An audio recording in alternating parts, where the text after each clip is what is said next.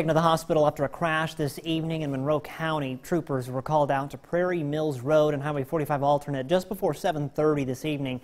Troopers say a Chevy Silverado was driving east when it pulled off of Prairie Mills Road in front of a Honda Accord heading south.